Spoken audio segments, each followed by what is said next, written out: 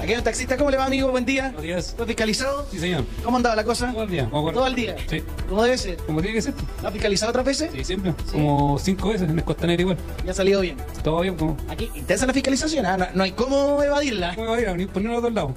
Pero está bien que controlen, pues anda mucha gente ah, trabajando a la mala. ¿Cómo está la pega de los taxistas? Sí, dentro de lo normal. No me puedo quejar.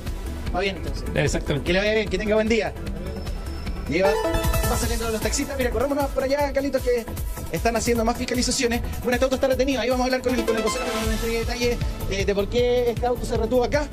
Se va a tener que ir a Corrales. Mira, seguimos avanzando acá. ¿Cómo le amigo? Buen día. Fiscalizado. Fiscalizado, ¿Qué le pasó? atrasado el carrito, ya se va a los patios. ¿Por qué? ¿Qué documento no tenía? No, los documentos tiene todo, sino que está atrasado en el circulación. Sea, no los tiene todo. No tiene permiso de circulación. Ah, sí, no tiene el permiso actual. Ya, pero no sirve el antiguo, pues. Ah, ya, pues, ya está, ¿y ¿qué vamos a hacer? Pues venga, no, el responsable ya está pagando la consecuencia. No, pues. Ah, ¿Y por qué no sacó el permiso?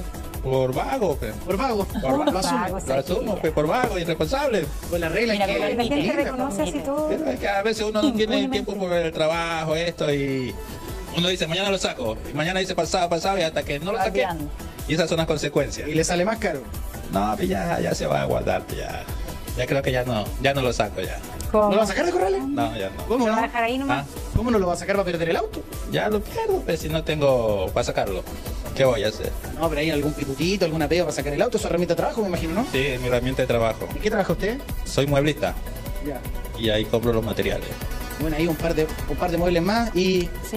Ah, para sacar el auto, pues. Para que salga, porque está dura la pega, pues. Y, y saque permiso de circulación y anda tranquilo. Claro, porque para sacar el carro tengo que tener todo el día, pues si no, no me lo van a entregar. pues. Claro, porque usted se lo toma un poco para la risa, pero algo serio, pues. Yo sé que es serio, pero Hay que sacar el permiso de circulación. no me voy a poner a llorar por algo que tiene solución. No, por supuesto que no, pero al menos ponerse las pilas, ¿no? Para poder sacarlo. Claro, sí. Vamos a hacer para estar al día y andar tranquilo, como ustedes dicen. Oiga, ¿y ¿es primera vez que lo habían fiscalizado? Primera vez. Sí. Y espero que sea la última, porque de aquí en adelante voy a andar en regla.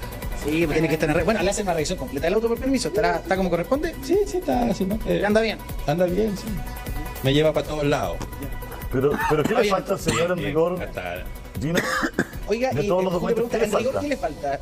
El permiso de circulación, pero no lo sacó por, por falta de lucas, por falta de tiempo. ¿Pero tiene revisión No, técnica no, al día ese plata auto? no, sino por tiempo, por ¿Y tiempo. la revisión técnica la tiene?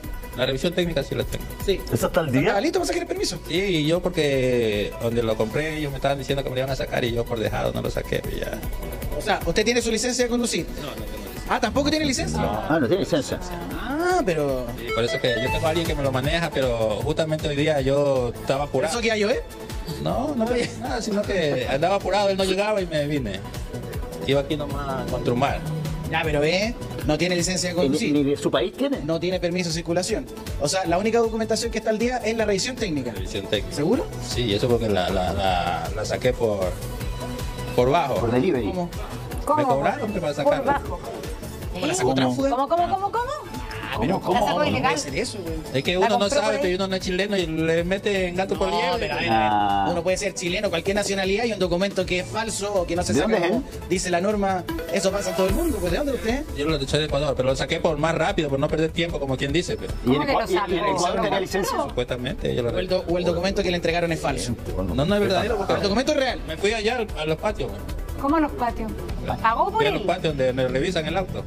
Fue, fue a, lo- a los locales donde hace la revisión técnica. A las plantas de revisión técnica. Televisión técnica. Claro. Entonces, ¿por qué dice que, que- que no, que no corresponde? O sea, porque no, no, no me tomaron el tiempo, fui rapidito y vi que otra persona demoraba. hombre, Me imagino que... Ah, pagó para no hacer la fila. Claro, Eso. eso sí. ¿Y en Ecuador él tenía licencia de conducir? El que tiene plata hace lo que quiera. No, güey. Oye, pero hoy día no tenemos puras frases para la historia, ¿no? No, no puede ser que con plata pueda hacer lo que quiera, pero usted fue una planta de revisión técnica, eso es cierto, ¿no? Claro. Ya, pagó para no hacer la fila. Sí. ¿Y le revisaron el auto? Revisaron el auto Y pasó. y pasé. ¿Y por qué no tiene licencia? ¿Nunca ha sacado la licencia acá? De aquí no, de mi país sí tengo. ¿Hace cuánto que vive acá? Cuatro años. ¿Cuatro años sin sacar la licencia de conducir? ¿Y por qué no lo ha hecho?